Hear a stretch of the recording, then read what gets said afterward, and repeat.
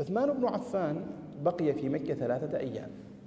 هنا انتشرت شائعتان عن عثمان بن عفان.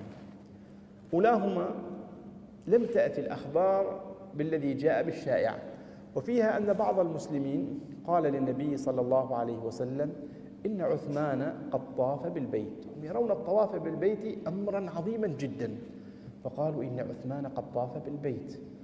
إلا أن النبي صلى الله عليه وسلم رد عليهم وقال ما أظن عثمان يطوف بالبيت ونحن محصورون هنا. ما أظن عثمان يطوف بالبيت. أي أنه صلى الله عليه وسلم يرد الناس إلى خلق إلى خلق عثمان. يرد الناس إلى منزلته المعلومة لديهم. يردهم إلى أنه رجل صالح.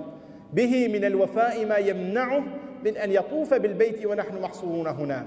ما أرسلنا عثمان إلا مفاوضا فكيف يطوف بالبيت؟ إن منزلة عثمان وقدره تمنعانه من أن يطوف بالبيت ونحن محصورون هنا.